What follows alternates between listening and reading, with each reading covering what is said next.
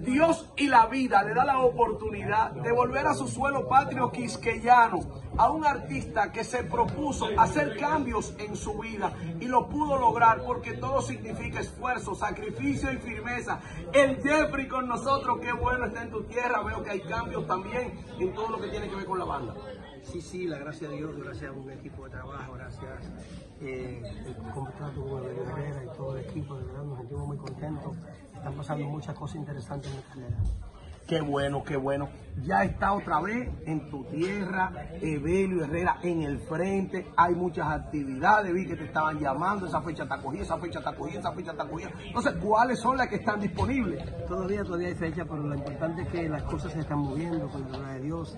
Banda nueva, música nueva, estoy haciendo el álbum, trabajando fuertemente para sacar un álbum nuevo.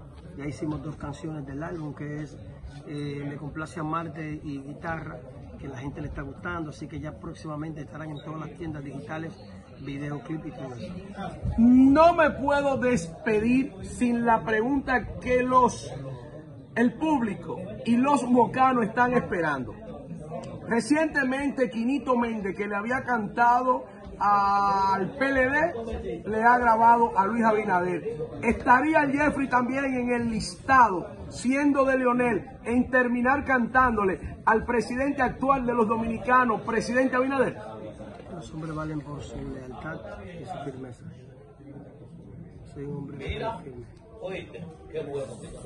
Leal y firme, incorrompible ante estos fondos que están apareciendo para compras masivas. Claro, claro, claro. El, hombre, el hombre debe tener sus principios y ideales siempre firmes. El hombre debe saber lo que quiere y yo estoy donde quiero estar.